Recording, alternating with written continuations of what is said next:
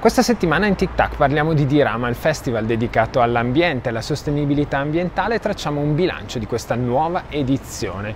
E poi parliamo invece di teatro perché siamo andati all'inaugurazione della rassegna Terre del Vescovado Teatro Festival per lo spettacolo Overload della compagnia Sotterraneo. Vediamo. Tra l'altro scusate, non so se sapete che la soglia di attenzione di un pesce rosso è di 10 secondi, ma studi recenti hanno dimostrato che le nuove tecnologie hanno abbassato la soglia di attenzione umana a 9 secondi.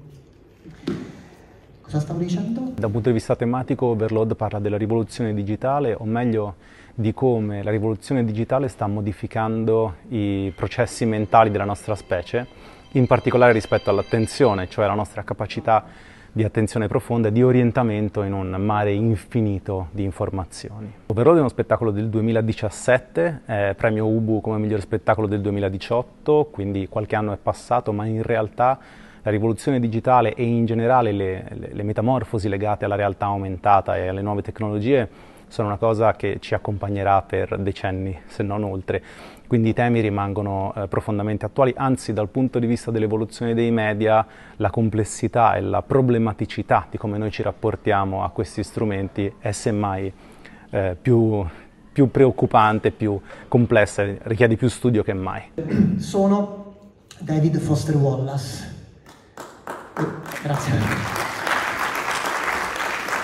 Grazie, anche se probabilmente credo che la maggior parte di voi non mi abbia neanche mai sentito nominare. Il centro di Overload è uno scrittore americano, David Foster Wallace, che fa un discorso che ci racconta una sua giornata, ma in realtà nel corso dello spettacolo gli altri performer offrono dei contenuti nascosti che il pubblico può attivare. Quindi in qualche modo si chiede al pubblico di giocare, di essere complici di un meccanismo che suscita un pensiero critico rispetto alla nostra capacità di rimanere attenti o distrarci per sviluppare appunto una riflessione su questi temi. Il tutto vuole essere ironico e feroce al tempo stesso. Al centro di Overload c'è David Foster Wallace perché è uno scrittore che amiamo da sempre, ma anche perché è uno scrittore che ha riflettuto moltissimo sulla cultura pop, sull'immaginario collettivo, sui media, sul ruolo che i media hanno nell'informare l'immaginario delle persone, la loro percezione della realtà quindi era come dire la giusta personalità da mettere al centro del nostro meccanismo. Lui stesso nel suo capolavoro che è Infinite Jest ha creato un meccanismo di link per cui un libro che è già di oltre mille pagine ha tantissime note a piedi pagina che sono una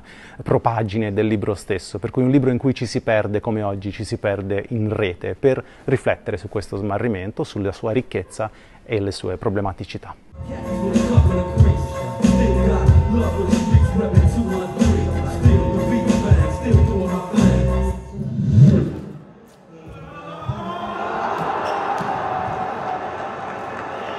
Il Terre del Vescovado Teatro Festival è un festival itinerante che si svolge in sette paesi delle Terre del Vescovado, che sono Seriate, Scanzorosciate, Pedrengo, Bolgare, Chiuduno, Costa di Mezzate e Albano Sant'Alessandro. Sono i paesi che quest'anno hanno aderito, che ospiteranno sette spettacoli molto esclusivi direi rispetto a quella che è la proposta eh, culturale di quest'estate che è cappeggiata da Bergamo Brescia Capitale per la Cultura. Abbiamo cercato di portare questa, questa saggezza del teatro, questa surrealtà del teatro, questa poesia del teatro anche al, con un'immagine, un'immagine che è l'immagine simbolo di quest'anno fatta dall'illustratrice eh, Giulia Cabrini in cui questo carro portatore di energia pulita e di un albero che ha un cuore pulsante riesce ad arrivare nelle piazze dei paesi proponendo appunto spettacoli per la comunità. Il prossimo appuntamento è ad Albano Sant'Alessandro in un agriturismo, all'agriturismo Sant'Alessandro con Claudio Lauretta che propone il suo spettacolo cabarettistico molto divertente, I Metamorfosi. Poi saremo a Bolgare, nella cornice del cortile del Palazzo Municipale, con Pem, Rita Pelusio e altre tante brave attrici che proporranno un, uno spettacolo su una, su una storia molto bella, Giovinette, le ragazze che sfidarono il Duce.